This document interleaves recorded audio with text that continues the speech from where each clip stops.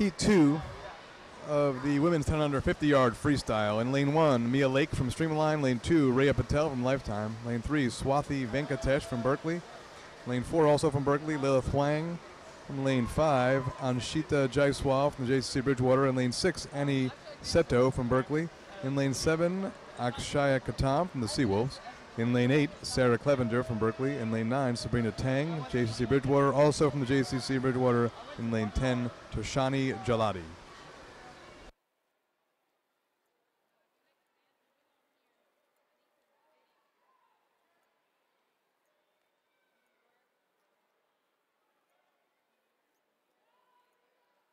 Touching first in lane three from Berkeley, Swati Venkatesh.